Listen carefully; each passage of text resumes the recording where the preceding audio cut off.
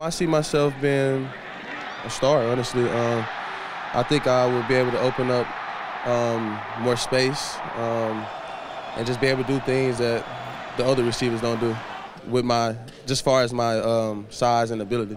I think my versatility is, is a good thing. Um, like I said, I don't want to be in one spot. Then, you know, I wouldn't be able to get that many that many balls or attention or something. I want to be able to move everywhere. I want to be able to create mismatches everywhere on the field. Um, I'm more talkative than people think. Um, I like to have fun, and I'm not as quiet as people think. Um, on the field,